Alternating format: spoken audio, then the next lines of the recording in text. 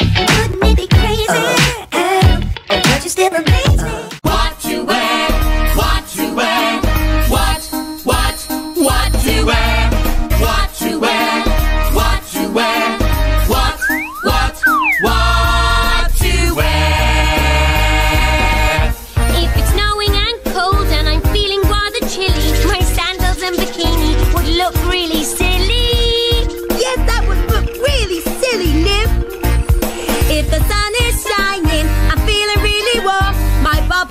And mittens are not to be worn. That would be really silly too, Bobbin. Yeah. if it's wet and rainy, and I wear my blue pajamas, splashing all the puddles, you think I was bananas?